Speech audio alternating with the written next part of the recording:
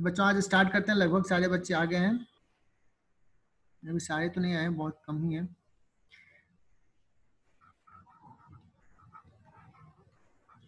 सो boards model हम लोग discuss कर रहे थे।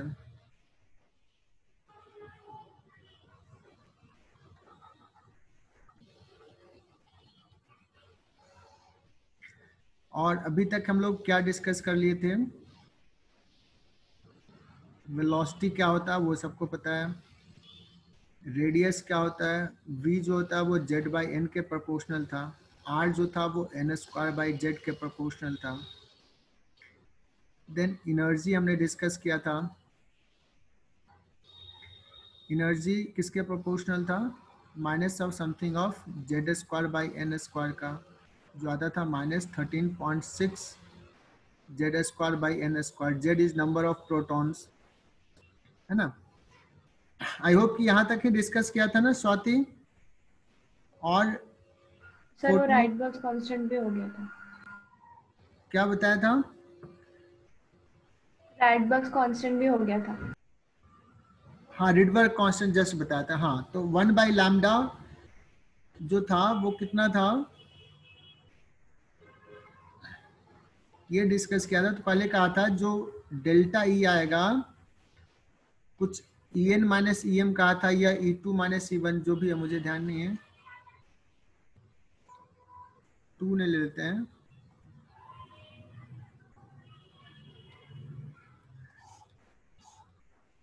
इनर्जी लेवल्स भी हमने डिस्कस कर लिया था। सपोज़ एनएथ लेवल है और ये एमएथ लेवल है, ऐसे हमने डिस्कस किया था।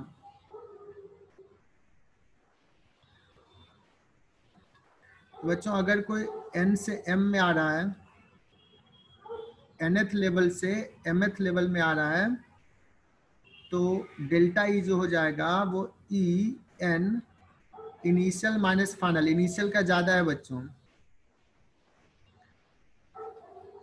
Okay okay? दिया जाता था तुम्हारा something into Z square one by M square minus one by N square. This is delta E delta E जो था, वो था एच सी बाई लैमडा एक बार इसको कर लेता हूँ complete something Z square one by M square minus one by N square तुम यहाँ पे फिल कर सकते हो, क्या होता है? One by lambda is equal to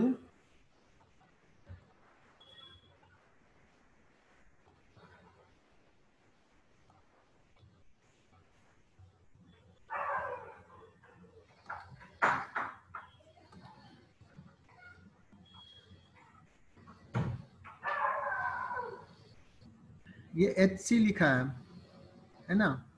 इस पूरे टर्म को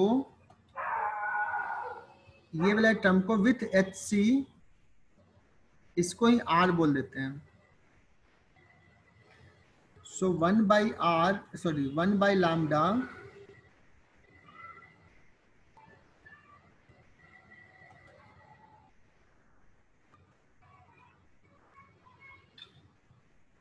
R Z square one by N square minus one by M square उल्टा कर दिया।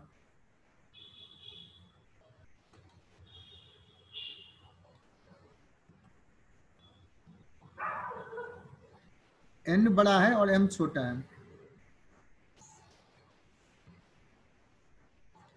रिडवर्ड कांस्टेंट का वैल्यू कितना होता है? 1.097 into ten to the power seven per meter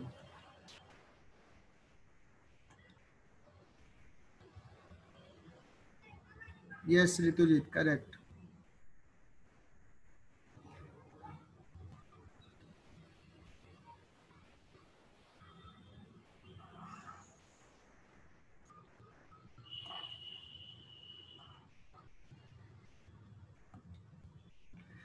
यहाँ तक मैं क्लियर ना?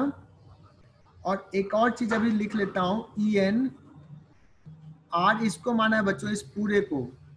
ठीक है ना? ये वाला टर्म आता था इसमें तो देखो, ऐसे लिख सकते हैं R H C Z square by N square और sign minus in terms of Rydberg constant we can write this ये वाले टर्म को आर माना था। सॉरी एनर्जी वाला टर्म में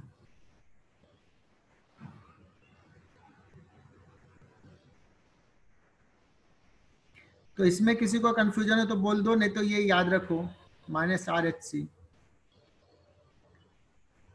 और अगर पूछा जाए आर एच सी का वैल्यू कितना होगा तो minus thirteen point six electron volt sorry minus नहीं आर एच सी का value thirteen point six electron volt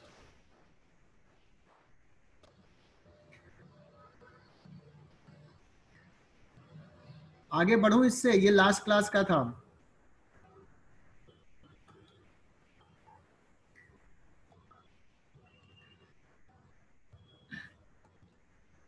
Now for hydrogen atom.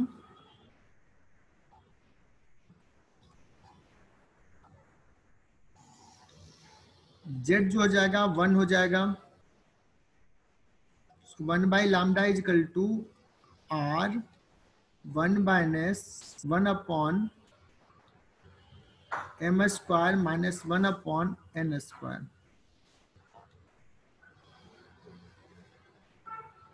अब इसमें बहुत सारे सीरीज़ हैं बच्चों।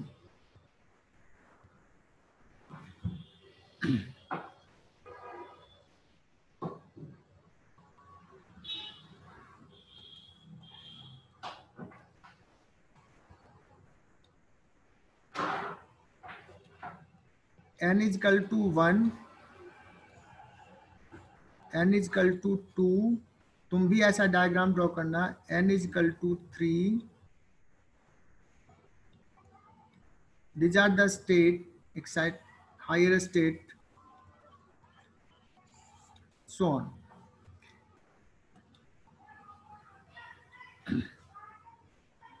अगर कोई भी इलेक्ट्रॉन्स जो एक्साइटेड स्टेट में है जैसे टू से वन में आया, या थ्री से वन में आया, या फोर से वन में आया। मतलब कहीं से भी वन में आ रहा है। That means if M is equal to one और एन क्या हो जाएगा? हाई एट एन इज़ या तो टू हो, या थ्री हो, या जो भी है। तो उस केस में जो सीरीज़ मिलेगा that is called Balmer series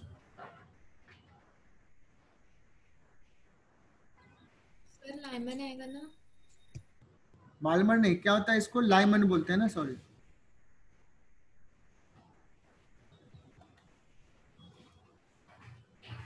this is called Lyman series अच्छा तुम लोग पता है कि लाइमन का पहले डिस्कवरी हुआ था या बालमर का? पहले कौन खोजा गया? एनीवन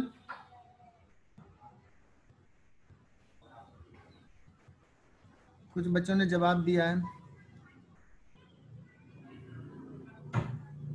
तेजस ने कहा, सर, बालमर। बहुत बढ़िया।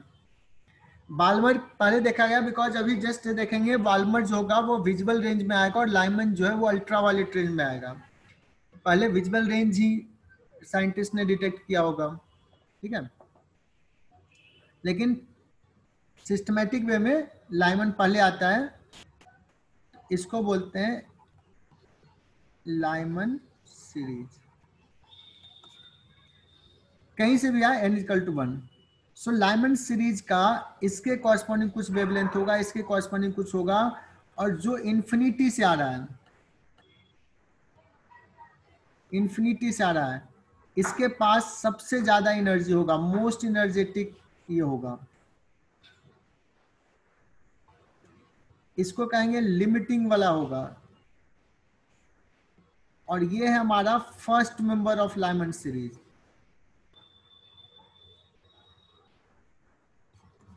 this is first member of Lyman series तो let's talk about first first member of Lyman series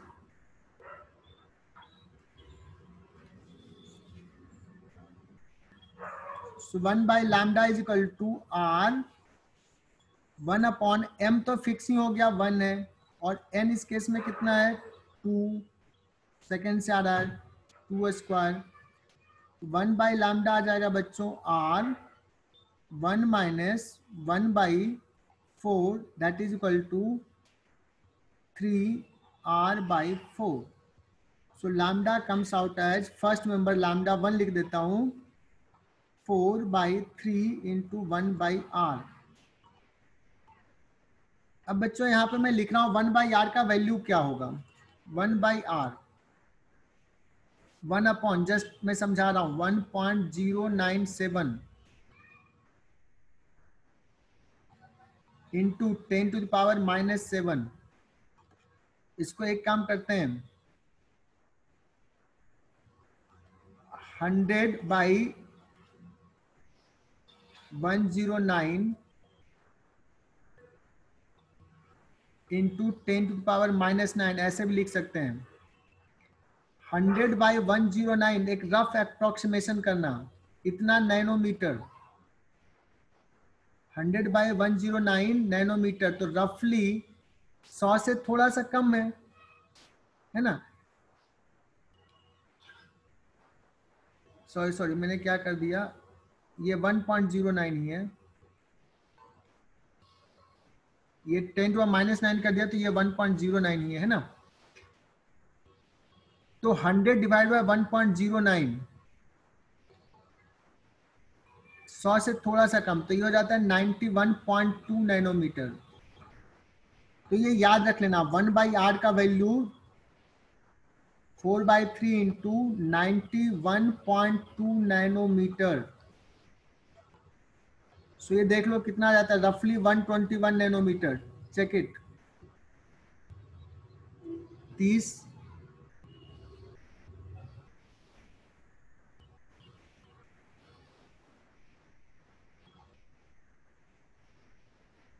So, you should remember these values मैं नेक्स्ट पेज जा रहा हूँ।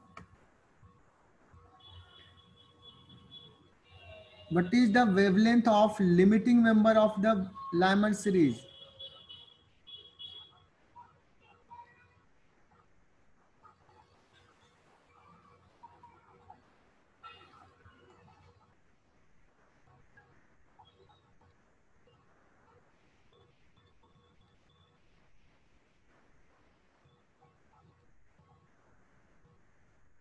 So limiting member के लिए लाइमन है तो M is equal to one और N is equal to infinity आएगा।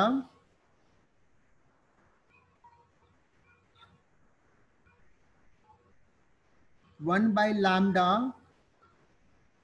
R into one minus one by infinity that is equal to R so lambda is equal to one upon R that is equal to ninety one point two nanometre that means Lyman series shortest wavelength जो कि limiting होगा, वह है 91.2 nanometre का, और longest wavelength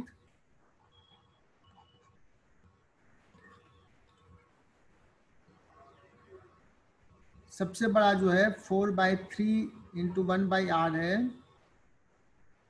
that is 121 about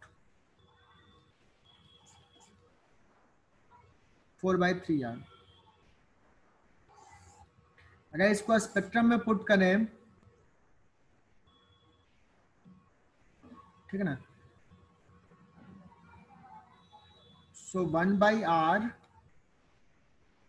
फिर एक दूसरा होगा। Can you find second member of the Lyman series कौन निकाल के पहले बताता है? फिर थर्ड ये पास पास आने लगेगा बच्चों। बहुत पास पास और लिमिटिंग मेंबर जो आएगा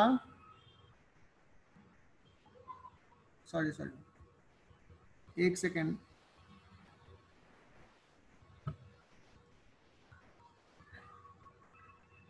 उल्टा कर दिया हूँ मैं। मैं इधर लिख रहा हूँ वेवलेंथ इस तरफ़ किधर दिखाऊँ?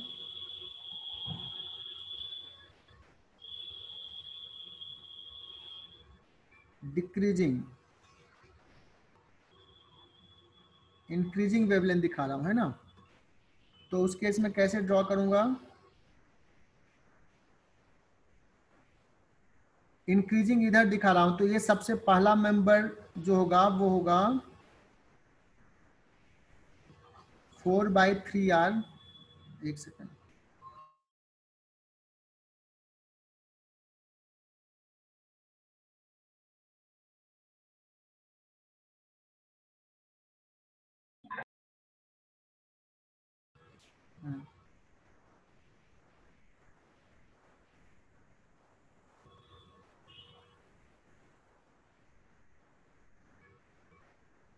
second member and then ये पास पास होने लगेगा, और पास पास होते होते होते लास्ट जो मेंबर होगा, वो होगा वन बाई आर ठीक है? 91.2 नैनोमीटर और ये 121 नैनोमीटर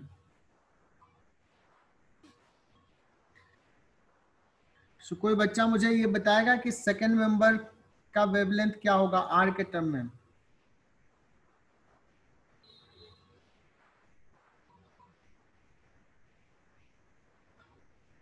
ऋतुजीत ने कैलकुलेट करके आर के टर्म में बताओ।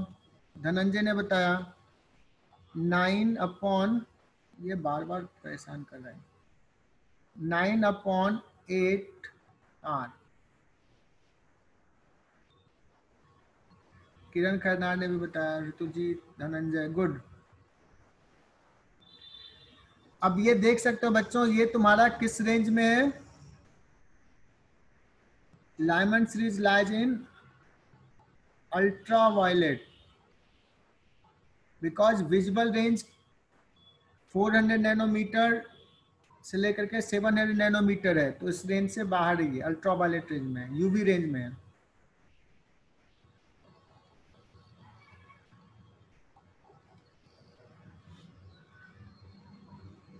नेक्स्ट पेज पे जा रहा हूँ।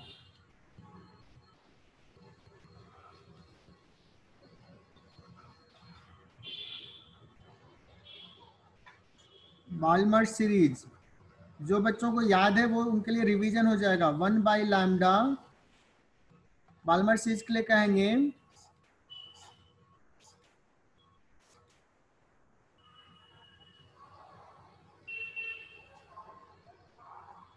कहीं से भी सेकेंड लेवल में आ रहा है। ये फ़र्स्ट मेंबर हो जाएगा सेकेंड मेंबर हो जाएगा थर्ड मेंबर हो जाएगा। ऐसे और लास्ट में limiting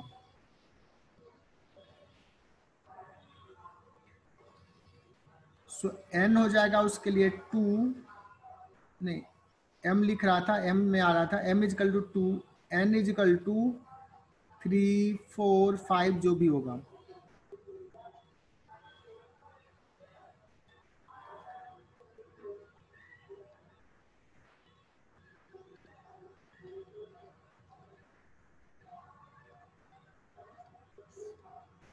For first member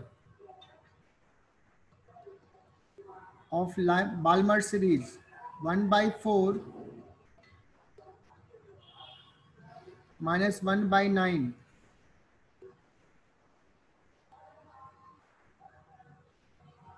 1 by lambda is equal to 5 r by 36 that means lambda 1 first member जो है 36 by five into one by R about one by R है नाइन्टी वन पॉइंट टू और ये लगभग seven है तो seven into seven से थोड़ा ज़्यादा नाइन्टी वन पॉइंट टू रफली कितना हो जाएगा?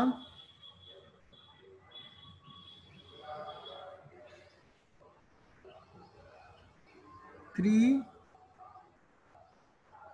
सेवेंटी से थोड़ा ज़्यादा है ना?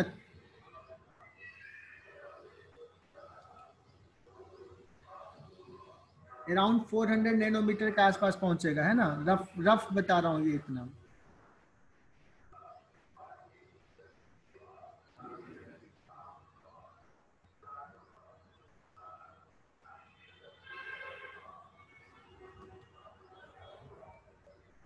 And limiting age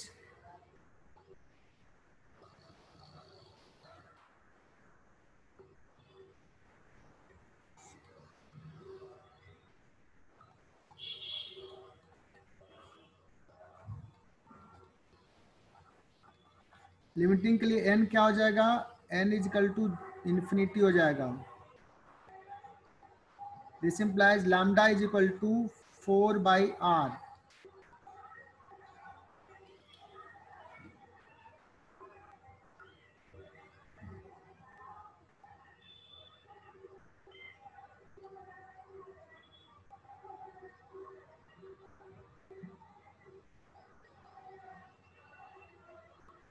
यहाँ पे 370 लिख दिया यार sorry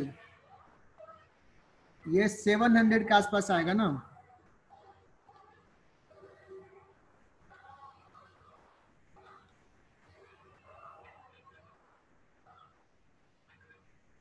Nine into seven sixty three ना? सिक्सटी थ्री सिक्स फोर्टी के रेंज में।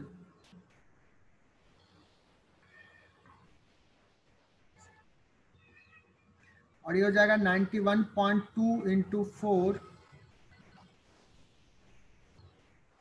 three sixty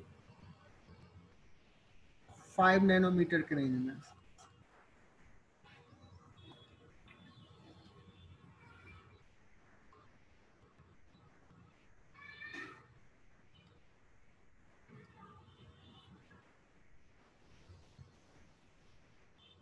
अब इसके पीछे सर कहोगे, सर एक एक क्यों निकलवा रहे हैं? क्या इसका रीजन है? तो कुछ बताऊँगा। अच्छा यहाँ पे क्या हो गया? बालमर किस रेंज में आ गया? बालमर जो आया था 360 समथिंग 365 नैनोमीटर से लेकर के अराउंड सेवन सिक्स फोर्टी के रेंज में आया। या उसमें कहें फोर बाई आठ से लेकर के thirty six by five into one by R के रेंज में आया। So this is this lies in visible range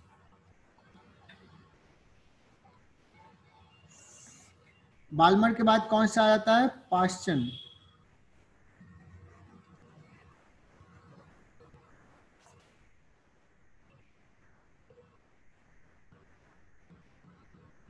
similarly इसका तुम लोग खुद से निकालोगे पार्शंस का निकालो first member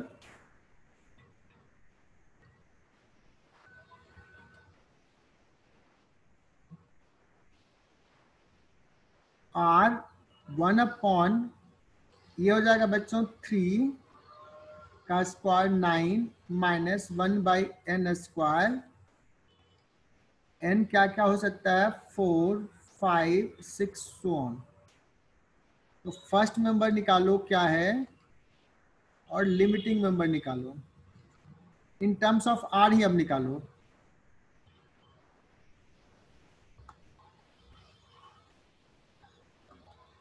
पार्शंस के बाद ब्रैकेट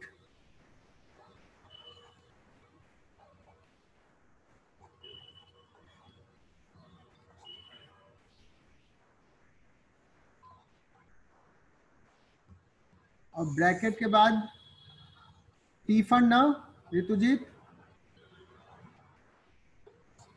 टी फंड और ये अपने नोटबुक में तुम लोग निकालोगे, इसमें कोताही नहीं बरतना है। और अब मैं दूसरे पेज पे ले रहा हूँ।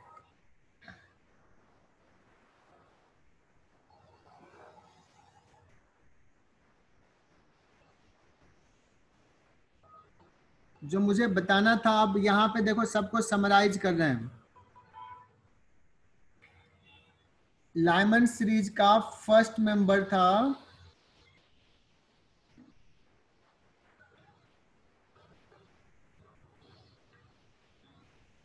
Four by three into one by R और लिमिटिंग मेंबर था वन बाई आर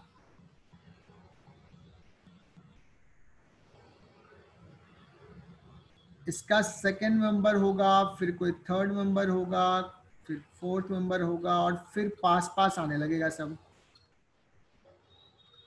ये ध्यान देना है।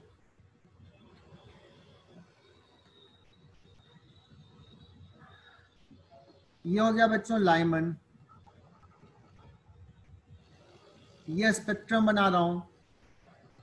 बालमर सीरीज़ का पहला जो था फ़र्स्ट मेंबर था, वो था 36 upon five into one by R that means one by R का सेवन टाइम्स यह है four times sorry sorry four by three times और जो लिमिटिंग नंबर था, वो four into one by R था. इससे ये इधर होगा और फिर बहुत पास पास सब होंगे।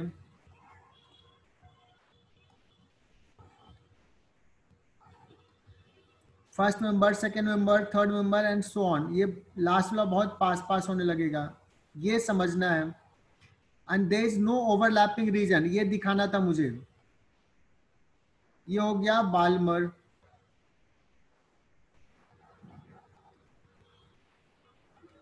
ऐसा डायग्राम ड्रॉ कर लोगे।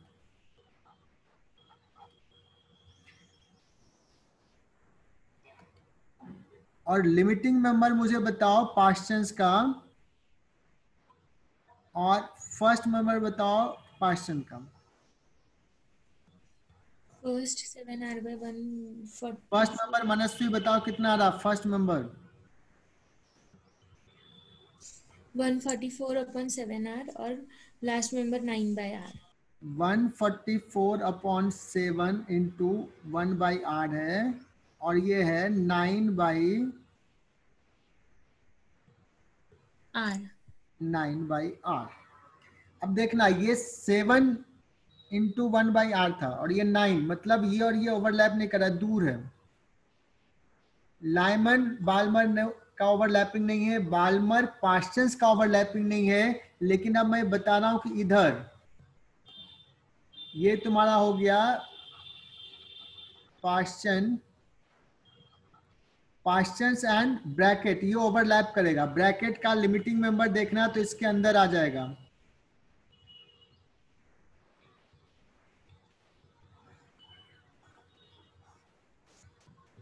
आ रहा है क्या? किसी ने देखा ये?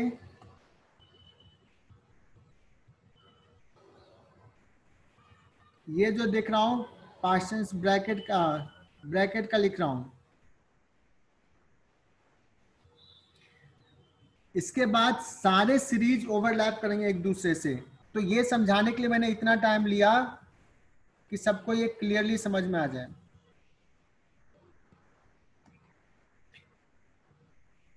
लिमिटिंग मेंबर इसने कहा, सर, ये 16 बाई आर है और ये देखो, ये कितना है? 16 बाई आर से थोड़ा बड़ा है।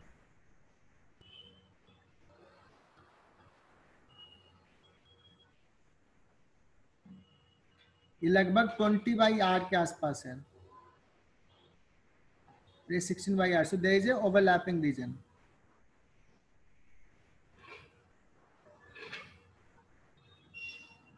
Tejas, अब देखना, एक सवाल में पूछता हूँ, बताना कि तुम कौन से सवाल का आंसर दे पाओगे। हाउ मेनी लाइन्स सारे बच्चे देखना, ये मेरा फेवरेट सवाल है। अभी तक पूछा नहीं, आई कभी पूछ सकता how many lines of Brackett series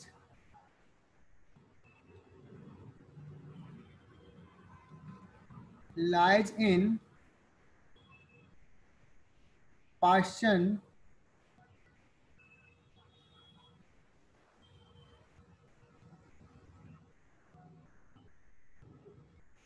Paschen range एक सवाल ये रहेगा और दूसरा आएगा how many lines of Paschen series lies in Brackett कौन से सवाल का जवाब तुम दे सकते हो? फ़र्स्ट वाले का या सेकंड वाले का? मतलब कैलकुलेट करके।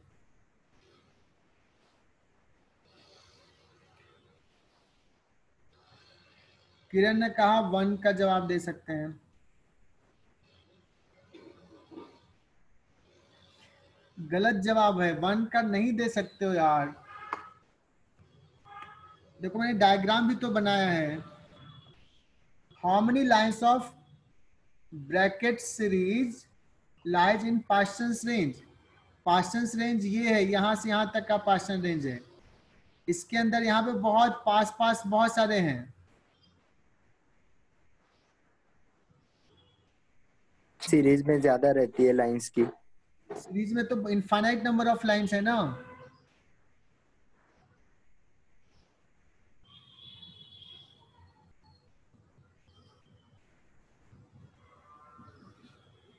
क्या ये बता पाओगे? लेकिन उल्टा कहो कि पास्टन सीरीज़ का कितने लाइंस ब्रैकेट के रेंज में है? ब्रैकेट वाले रेंज में, इतने में तो या तो एक दिख रहा है, एक होगा या दो होगा। मुश्किल से तीन। क्या अभी क्लियर हुआ या नहीं हुआ? धनंजय?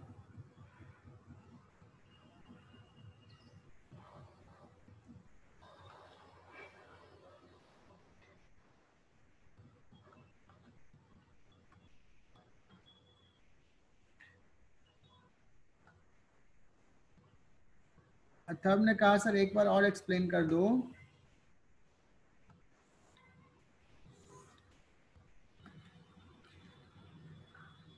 पास्टन सीरीज़ में बना रहा हूँ। दिस इज़ पास्टन सीरीज़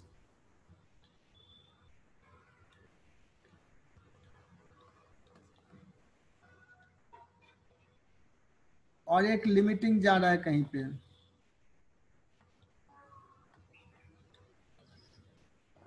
और मैं ब्लू कलर से बना रहा हूँ ब्रैकेट सीरीज़ ब्रैकेट का फ़र्स्ट मेंबर यहाँ पे, जो कि कुछ होगा।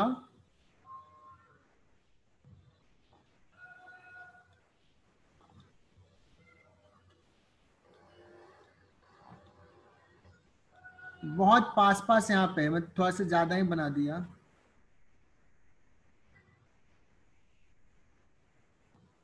ये बहुत पास पास है, बहुत सारे लाइंस हैं। तो ये हो गया बच्चों, ये ब्लू कलर से जो दिया, ये this is Paschen sorry Brackett और ये रेड कलर वाला जोन जो है, ये है पास्टन मैं कहूँ पास्टन सीरीज़ के कितने लाइंस ब्लू कलर वाले जोन में है। कहोगे, सर, अभी जो दिखाया मैंने तो एक और दो लाइन। लेकिन मैं उल्टा कह दूँ, ब्रैकेट के कितने लाइंस पास्टन्स सीरीज़ में है पास्टन्स जोन में है? तो ये बहुत पास पास है, काउंट नहीं कर पाओगे। इनफाइनाइट नंबर पास में आया तो अथर्व गावली क्या क्लियर हुआ?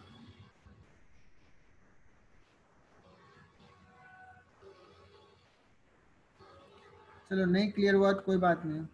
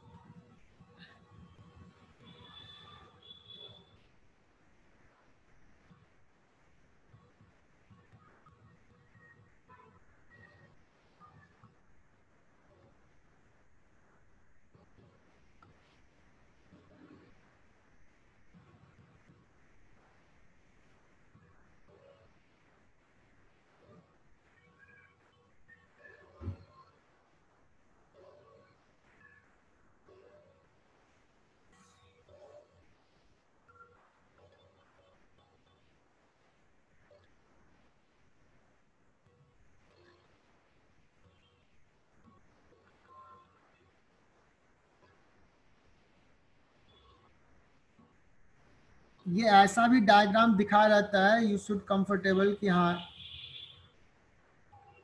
ये ऑर्बिट दिखा दिया। तो कहीं से भी ये आ जाएगा सेकेंड से आया थर्ड से आया या फोर्थ से आया। तो ये जो सीरीज़ बनेगा दिस इज़ लाइमन बुक में तुम्हें ऐसे दिखा रहेगा। टू में कहीं से आ रहा है, अलग कलर से दिखा रहा हूँ। तो ये हो गया Balmer.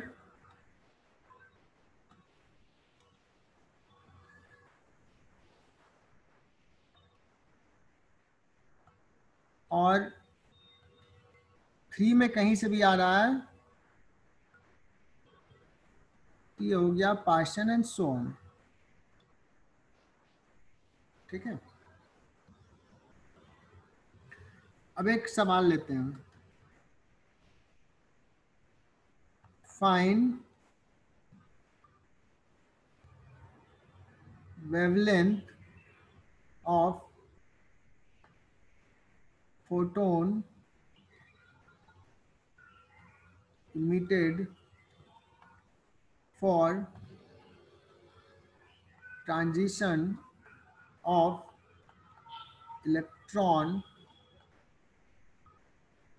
from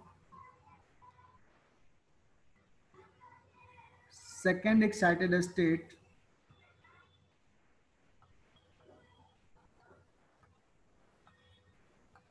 to ground state for helium plus ion तो जल्दी से सॉल्व करके बताओ कैसे निकालें इसको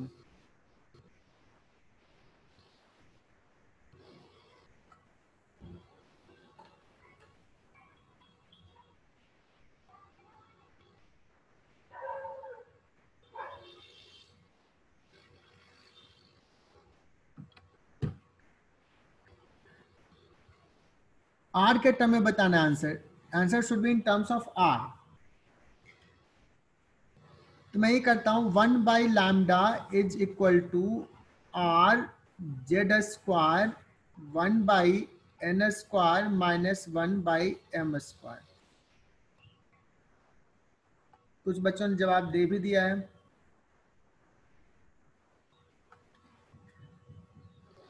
हीलियम प्लस के लिए कहा है तो जेड कितना हो जाएगा बच्चों? टू तो जेड स्क्वायर हो जाएगा टू का स्क्वायर फोर वन बाई ये यहाँ पे one by M square minus one by N square लिखना था, जो हमने अभी तक कन्वेंशन लिया उसमें।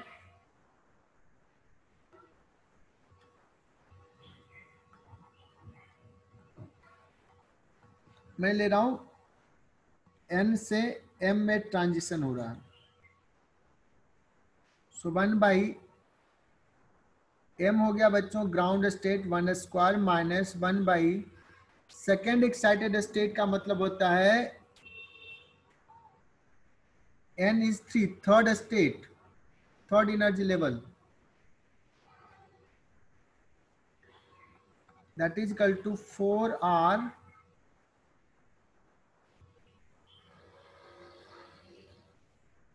into one minus one by nine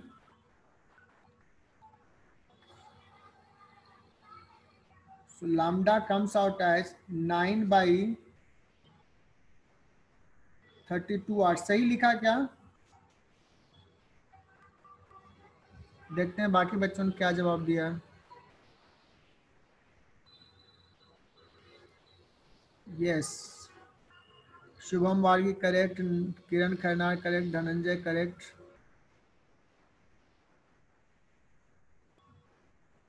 Manasvi, ये क्लियर हुआ क्या?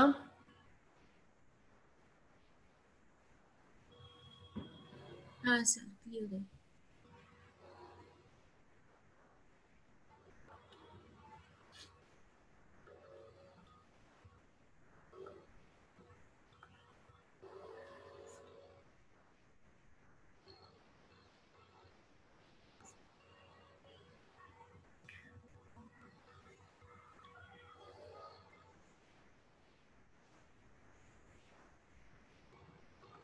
बच्चों आयनाइजेशन एनर्जी किसको बोलेंगे?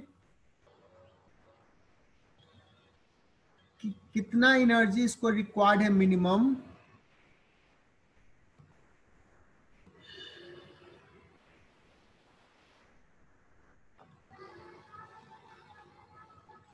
minimum energy required to take या to knock out electrons from the atom knock out electron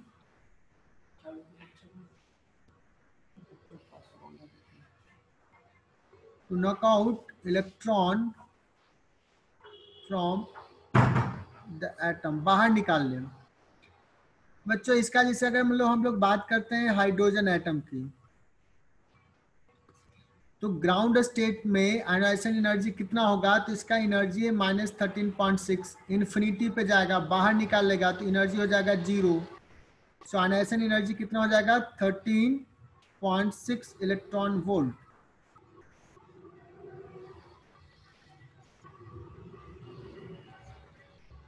और ये बात समझ में आई?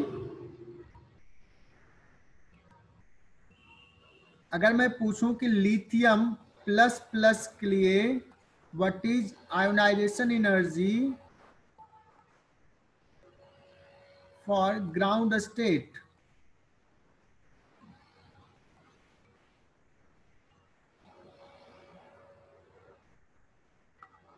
बच्चों, ये हो जाएगा minus thirteen point six into Z square by N square होता है। है ना? तो लिथियम के लिए हो जाएगा minus thirteen point six into nine three का square divide by N square ground state के लिए एन वन लेंगे। सो आयनाइजेशन एनर्जी कितना हो जाएगा answer thirteen point six into nine electron volt correct ना?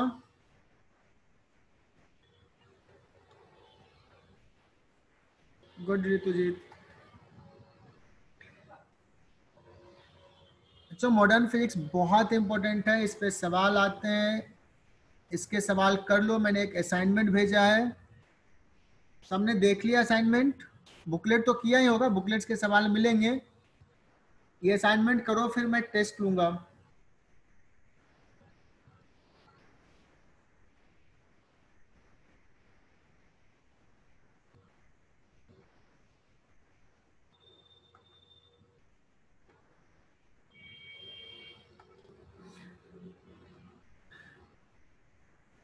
अब मैं बात करता हूँ हाइड्रोजन एटम की।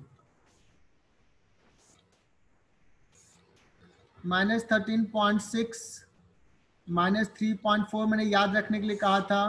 Minus one point five one minus zero point eight five everyone should remember this value. This difference is 10.2 electron volt. this difference is 12.09 electron volt and this difference is 12.75 electron volt सवाल लेते हैं if a photon ये concept भी है बच्चों a photon of energy 11 electron volt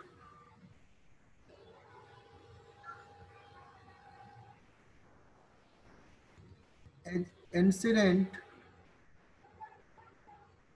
on hydrogen atom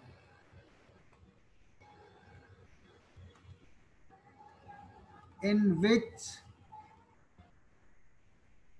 state the electron will go किस state में जाएगा इलेक्ट्रॉन कॉन्सेप्चुअल सवाल है।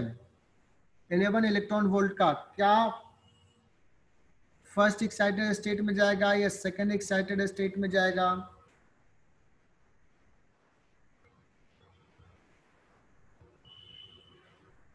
सोच के बताना।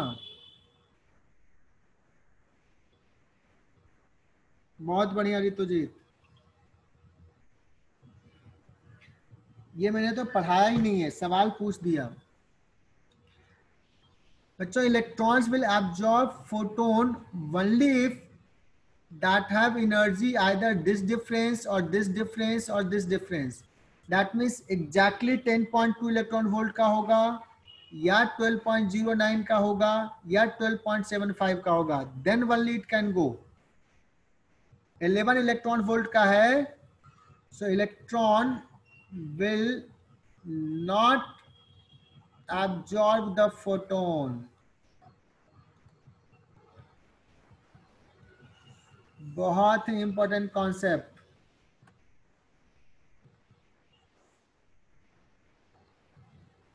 क्लियर हुआ?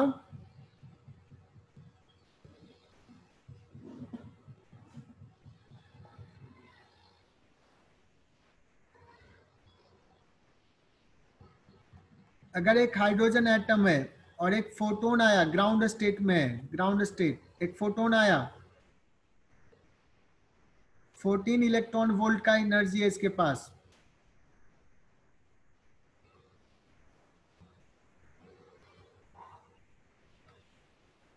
क्या ये इलेक्ट्रॉन्स एब्जॉर्ब करेगा?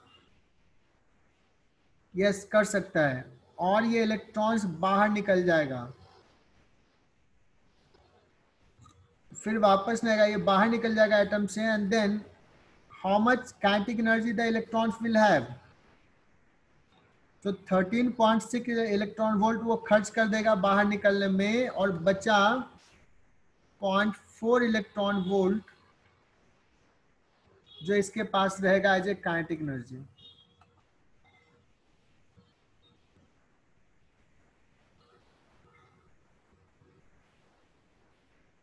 नहीं, फोटोन एब्जॉर्ब होगा। इस केस में फोटोन एब्जॉर्ब होगा। इस पर्टिकुलर केस में।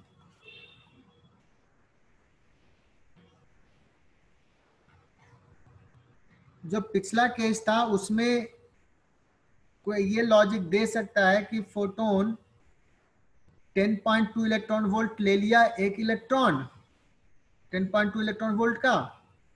और बचा हुआ जो 11 इलेक्ट्रॉन वोल्ट का दिया दैट मीन्स 0.8 इलेक्ट्रॉन वोल्ट का दूसरा फोटोन निकल जाएगा।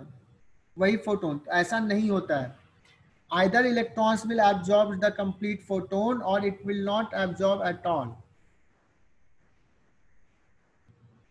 ठीक है? तो ऐसे मिस मतलब कॉन्सेप्ट में घुमाएगा आईटी दे देगा 11 इलेक्ट्रॉन वोल्ट का फोटोन इंसिडेंट कराए। तो एक ऑप्शन देगा electrons will goes to first excited state and a photon of point one electron volt is emitted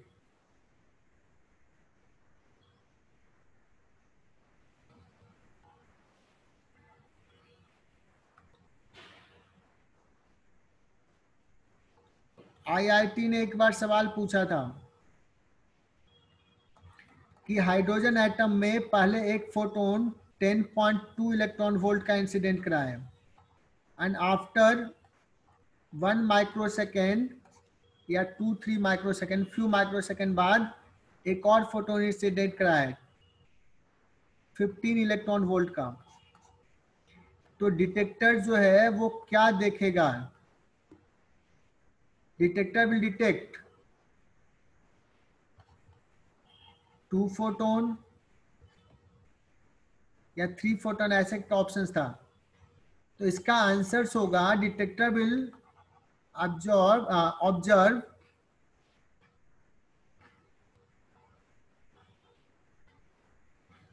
a photon of two ten ten point two electron volt and an electron of kinetic energy, how much? 15 minus 13.6 electron volt का। कुछ बात समझ में आई? इसका meaning clear हुआ?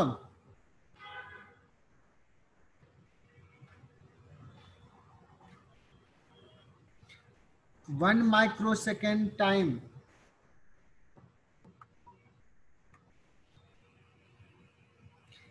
ऋतुजीत ने बहुत अच्छा बताया, सर स्टेट टाइम से ज़्यादा है। मतलब 10.2 का लिया एब्जॉर्ब किया और फिर क्या हुआ, वापस आ गया?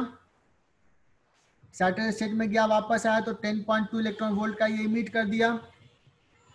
दूसरा फोटोन आया 15 का, वो लिया इलेक्ट्रॉन्स और वो बाहर चला जाएगा। 13.6 खर्च कर दिया, इतना जो बचा हुआ वो काइनेटिक एनर्जी है।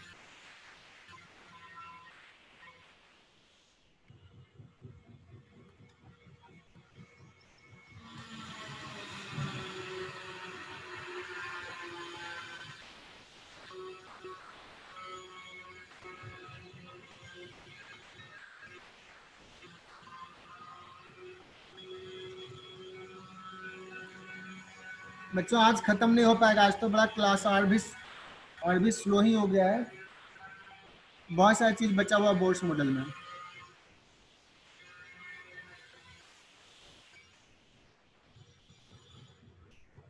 अगर इलेक्ट्रॉन्स रिवॉल्व करा सपोज़ nth स्टेट में है electron if I ask you कि how much current it will constitute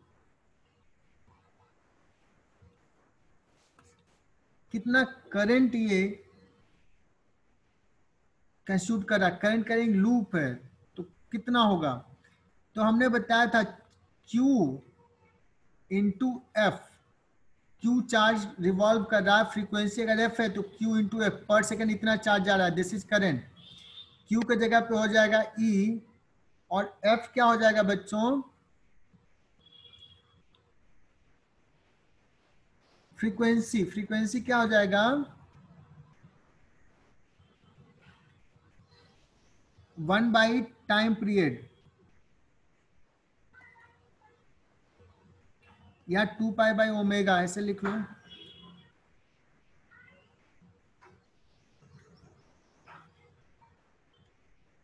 Omega by two pi time frequency omega हो जाएगा V upon two pi R is it correct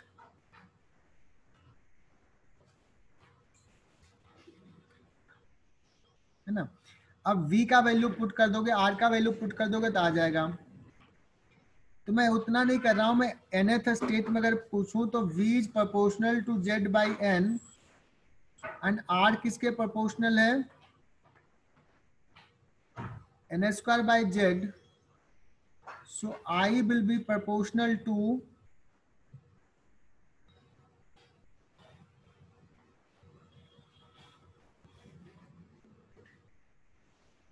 z square upon N Q और बाकी तुम्हें v का भी value पता, r का भी वैल्यू पता है यू कैन पुट देयर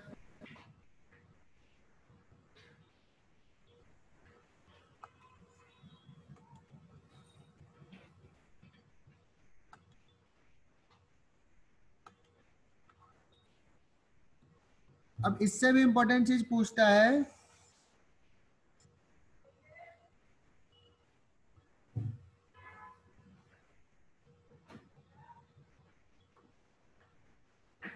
अब यहाँ से एक चीज़ और भी देख लिया फ्रीक्वेंसी भी पूछा जाए तो फ्रीक्वेंसी किसके प्रपोर्शन है बच्चों वन बाई एन क्यू का? यहाँ पे तो सिर्फ़ ई है ना। नेक्स्ट इज़ मैग्नेटिक मोमेंट अगर ये लूप बना रहा है करंट करिंग लूप तो what will be the magnetic moment magnetic moment is I into A I अभी लिखा है, देखना E into V upon two pi R और ए क्या लिखूं? लूप का एरिया पाई आर स्क्वायर तो देखो एक बड़ा सिंपल फॉर्मेट आ रहा है, बहुत ही simple E upon two A का चला जाएगा v इंटू आर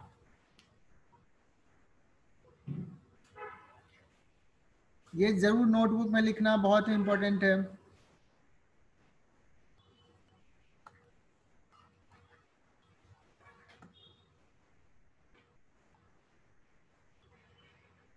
ये v इंटू आर को थोड़ा सिंपल फॉर्मेट में लिखना चाहता हूँ। देखना मैं लिख रहा हूँ ऐसे। E upon two M M V R अब बच्चों को समझ में आया होगा कि हम क्या चाह रहे हैं।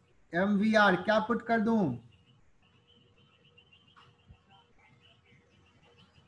ये एंगुलर मोमेंटम है बच्चों।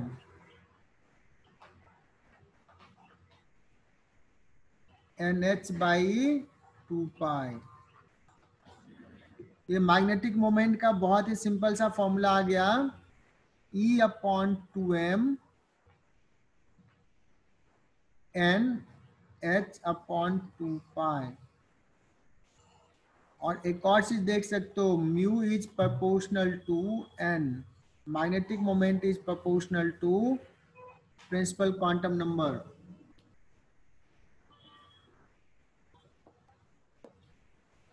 so इसको स्टार मार्क कर लो दो star this is important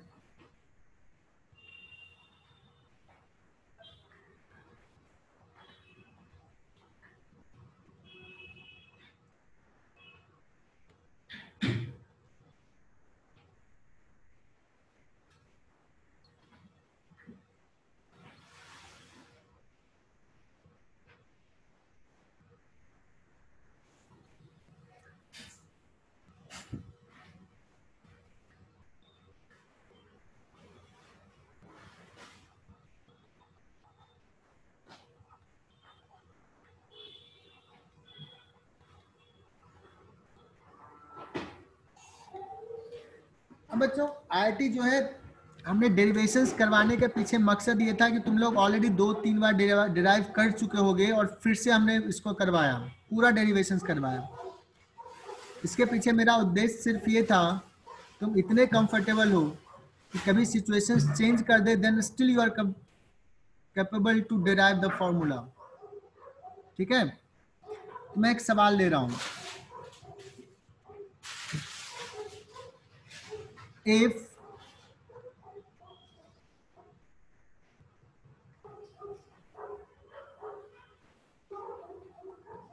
potential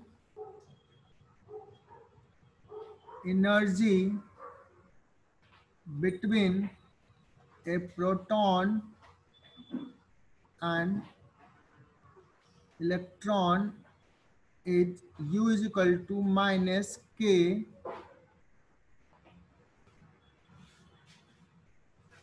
e square upon 3 r cube.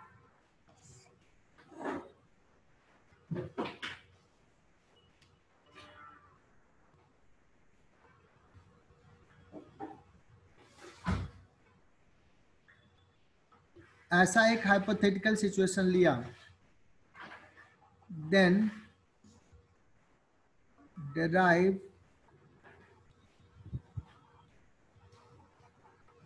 energy of any state assuming Bohr's model to be true.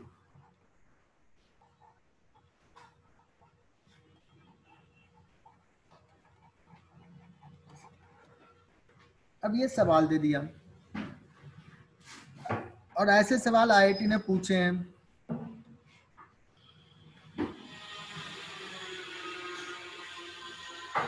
अब बच्चों, यहाँ से चीज़ें बहुत इंपॉर्टेंट हो रही है, जो मैं चाहता हूँ कि तुम लोग करो। मॉडर्न फिजिक्स बहुत इंपॉर्टेंट है।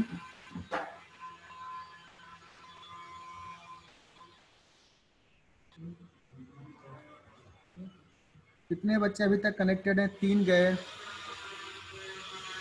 अभिषेक, आंचल, आकाश, अनुराग, अपूर्व अथर देवदत्ता, धनंजय, किरण, मनस्वी, निखिल, पूजा प्रतीक ऋतुजीत साई संकेत।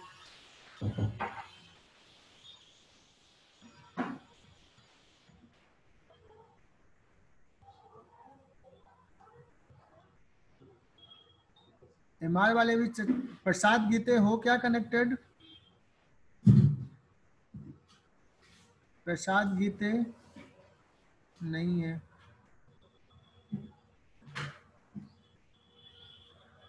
सुयश मोरे। यस सर ठीक है।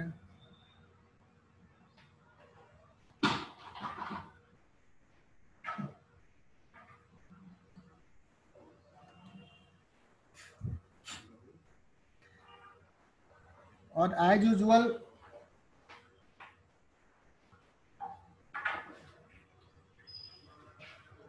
तनिष्क तिवारी नहीं है प्रेजेंट सिर्फ़ मुझे सिंसियरिटी दिखाया सर मैं बहुत सिंसियर हूँ। मुझे कभी क्लास में दिखा नहीं। सिद्धांत प्रेजेंट हो। हाँ सर। ठीक है। तुम्हारा दोस्त है कि नहीं है? नहीं है लगता है।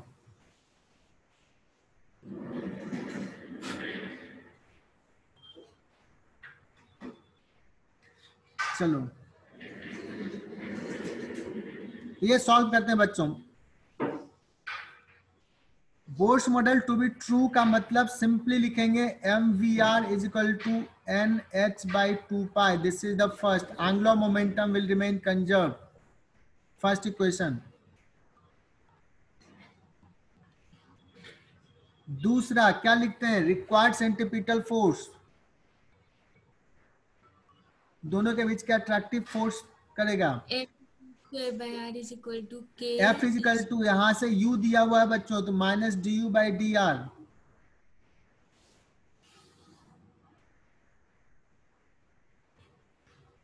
है ना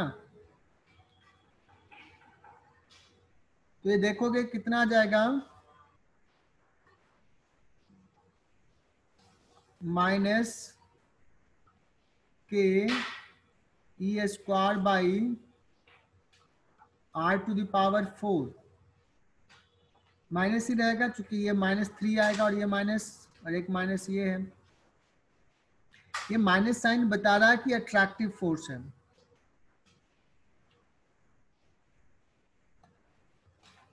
और अट्रैक्टिव फोर्स ही चाहिए।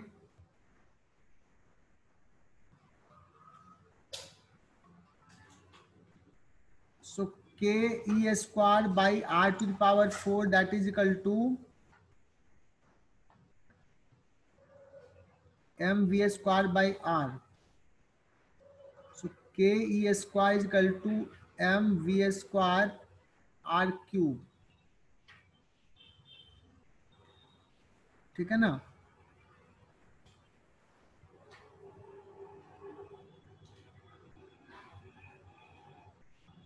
एंड देन यहाँ पे एम वी आर पुट कर दो तो रेडियस निकल जाएगा।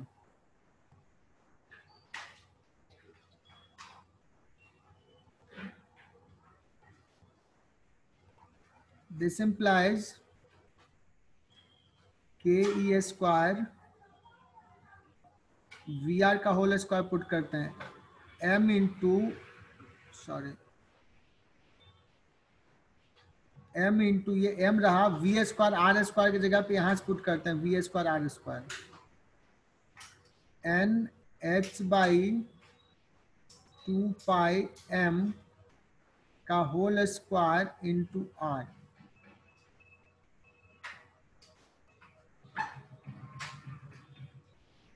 या एक काम करते हैं ना क्यू पुट करते हैं बिकॉज़ मुझे तो वेलोसिटी चाहिए। हमने एनर्जी आर आर डिफाइन करना है तो आर निकल जाएगा यहाँ से। निकल गया आर और अगर वी निकालना है तो क्या पुट करेंगे ऐसे? K E square is equal to M upon V और वी स्क्वायर आर क्यूब को यहाँ से पुट कर देंगे। N H by two pi M का whole cube so you will get v from here. V निकल गया तो काइनेटिक एनर्जी निकाल लोगे हाफ़ एम वी स्क्वायर ये काइनेटिक एनर्जी हो गया। And this potential energy is given तो तुम्हें टोटल एनर्जी निकल जाएगा जो पूछा है हमने।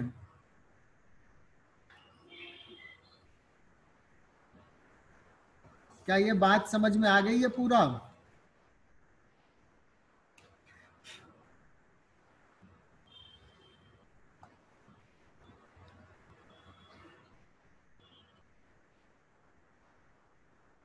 यस आगे बढ़ते हैं। एक और सवाल लेते हैं।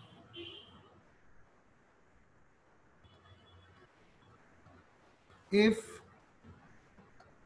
f is equal to one by four pi epsilon naught E square force between electron and proton या दो charge force between the two charge is one by R square plus beta by R cube. ये बच्चों पूछा हुआ सवाल है और JEE Main का पूछा हुआ सवाल है। मेरा फेवरेट सवाल है, बहुत मज़ा आता है इसको सॉल्व करने में। If this is modified version of force between two charge assuming Bohr's model to be true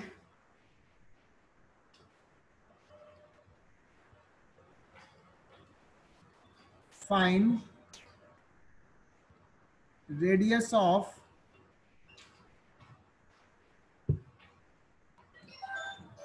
nth orbit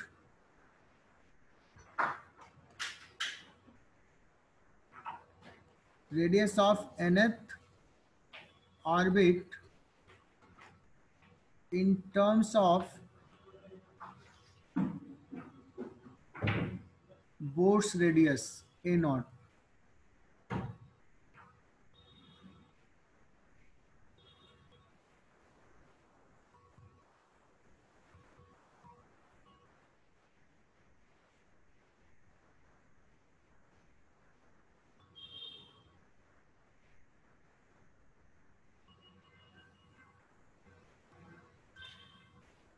Bohr radius A naught कितना था उसको देख करके लिख सकते हो।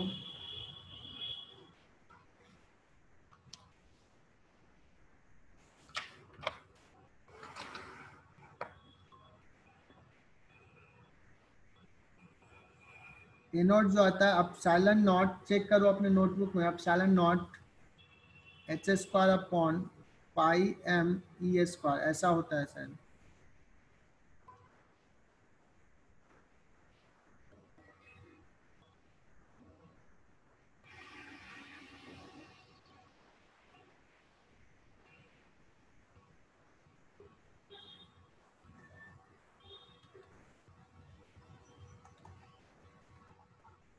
where beta is constant.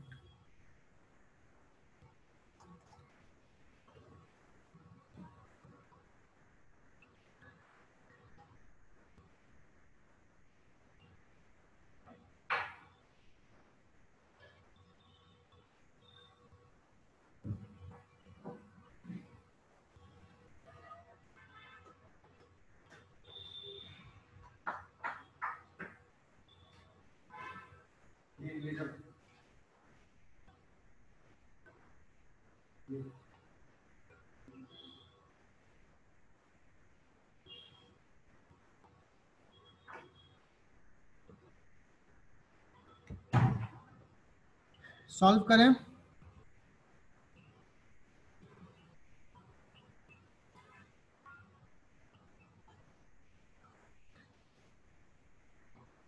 देखो, लिखना तो यही है रिक्वायर्ड सेंटिपिटल फोर्स ये प्रोवाइड करेगा।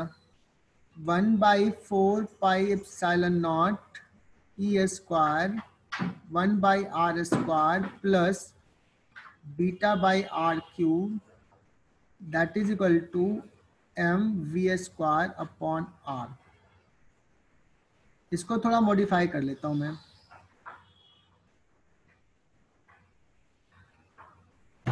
E square by four pi epsilon naught R plus beta R cube इधर लेके चला जाता हूँ तो क्या हो जाएगा? M V square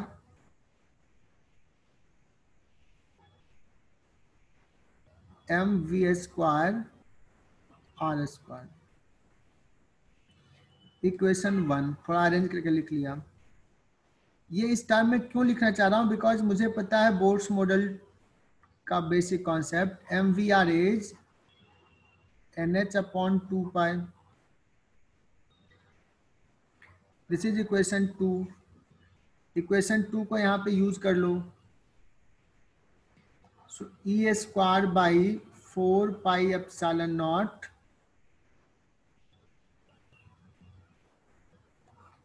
R plus beta. N square H square upon four pi square और एक एम नीचे आ जाएगा।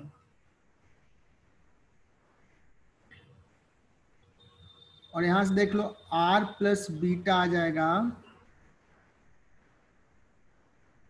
फोर पाई जाएगा। N square H square upon एक पाई बचेगा, एक एम बचेगा, pi into M into E square नीचे। बच्चों, ये और एक अब सैलन नोट कहाँ गया? सैलन नोट भी था। यहाँ पे।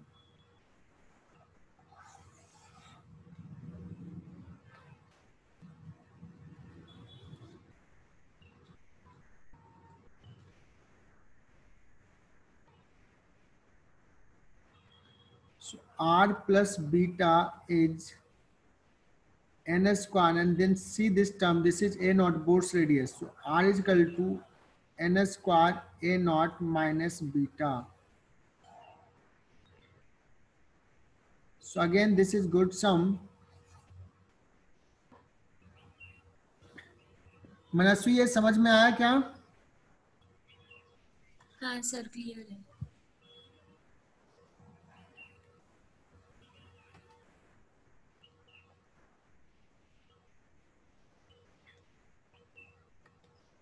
नेक्स्ट सवाल लेता हूँ।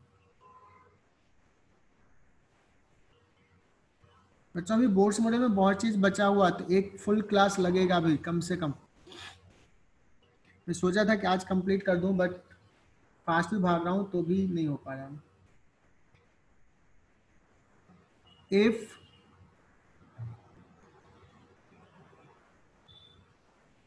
charge particle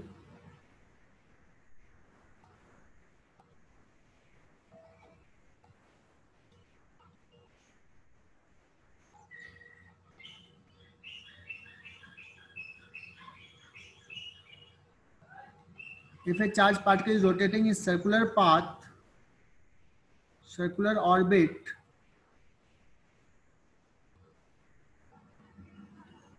and direction of a magnetic field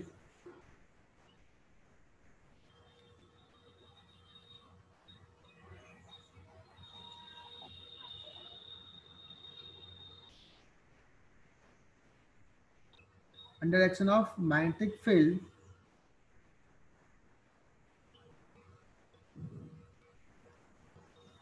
if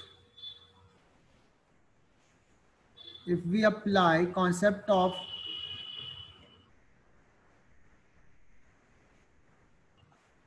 concept of Bohr's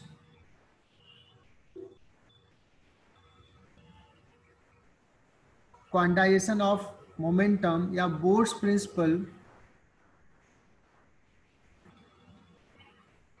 quantization of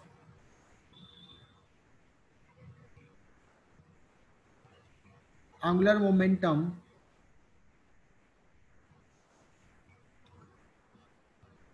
then find energy of nth level क्या बोर्ड्स मॉडल को ट्रू मानते हुए हम कहें कि जो इलेक्ट, अगर कोई चार्ज पार्टिकल मैग्नेटिक फ़ील्ड में मूव कर रहा है तो वो भी कोई भी ऑर्बिट नहीं हो सकता। सर्टेन सर्टेन स्पेसिफाइड ऑर्बिट होगा तो उस स्पेसिफाइड ऑर्बिट का एनर्जी क्या होगा? है ना? तो देखो, एक तो बेसिक कॉन्सेप्ट अगर कोई चार्ज पार्टिकल इलेक्ट्रॉन्स मूव कर रहा है सर्कुलर ऑर्बिट में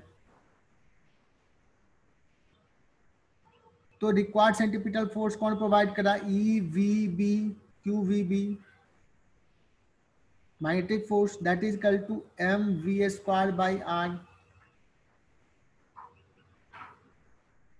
एक इक्वेशन ये हो गया।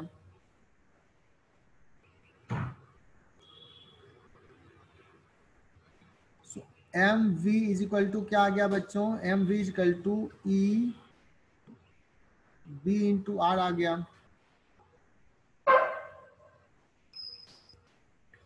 जो हमें पता है R equal to M V by Q B and दूसरा इक्वेशन कह रहा है कि एम वी आर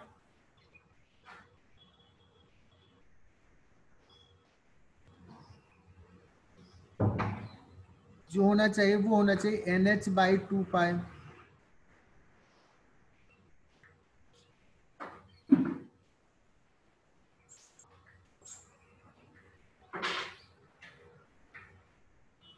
ठीक है? तो क्या इक्वेशन वन और इक्वेशन टू से हम v निकाल पाएँगे क्या?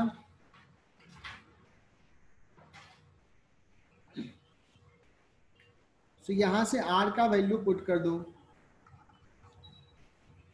Find the value of r and put the r value of r here m v और r के जगह पे पुट कर देते हैं। M v upon e b that is equal to n h by two pi कोई पूछेगा, sir, आप क्यों ऐसे पुट किया? क्यों वी निकाल रहे हो? Because we need to find energy to find energy we need speed half m v square निकालना है, इसलिए वी निकाल रहे हैं। आर को एलिमिनेट कर दिया। ऐसे सोचना है।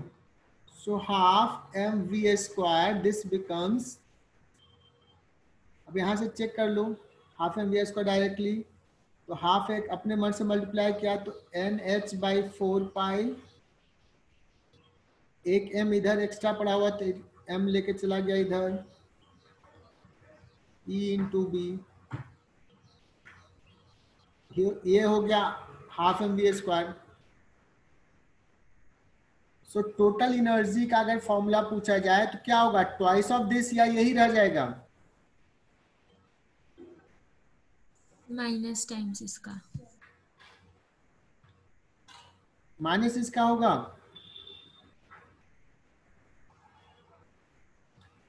बच्चों यही रह जाएगा बिकॉज़ मैग्नेटिक फ़ील्ड के कॉरस्पॉन्डिंग पोटेंशियल एनर्जी तो डिफाइंड ही नहीं है। सो so, इस सवाल का जो मेन क्रक्स था कि इसमें हम पोटेंशियल एनर्जी नहीं लिखेंगे total energy will be only kinetic and it will be positive. This is the total energy.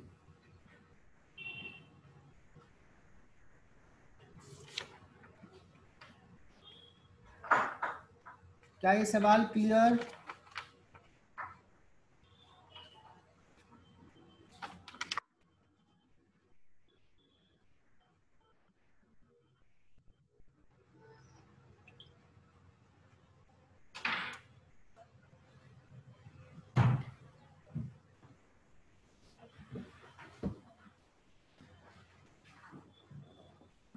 तो अभी बहुत सारे टाइप के सवाल है। एक टाइप के सवाल तो हमने करवा ही नहीं, जो मतलब इलेक्ट्रॉन्स फोटोन्स इंसिडेंट का इलेक्ट्रॉन्स गया सेकेंड स्टेट थर्ड स्टेट में कौन कौन से फोटोन्स होंगे, कितने फोटोन्स होंगे, वो थोड़ा सा बता दिया था। वो खुद से सवाल करो मोस्टली सवाल सॉल्व होंगे। जो असाइनमेंट मैंने दिया उसको सॉल्व करो। और कल जो क्लास होगा उसमें हम लोग डिस्कस करेंगे। आज हम लोग हाइपोथेटिकल वाले सवाल ले लिए। एक आईआईटी ने बड़ा अच्छा सवाल पूछा था डायटोमिक के लिए रोटेशनल के लिए बोर्ड्स मॉडल अप्लाई करना कॉम्प्रिहेंशन में। 12 मार्क्स के क्वेश्चन थे कॉम्प्रिहेंशन में। आ, मुझे याद नहीं एग्जैक्ट ईयर कौन सा पूछा है। बहुत ही इंपॉर्टेंट है उसको करना। नेक्स्ट क्लास जो हमारा होगा उसमें हम लोग डिस्कस करेंगे कोलिजन उसके बाद डिस्कस करेंगे बहुत इंपॉर्टेंट कि अभी बोर्स मॉडल जब हम डिराइव कर रहे थे तो न्यूक्लियस को हमने रेस्ट में माना। हमने इलेक्ट्रॉन को माना कि न्यूक्लियस के बाद रिवॉल्व कर रहा है बट एक्चुअली में electrons nucleus plus electron system के सेंटर ऑफ़ मास के अबाउट रिवॉल्व करेगा। है ना?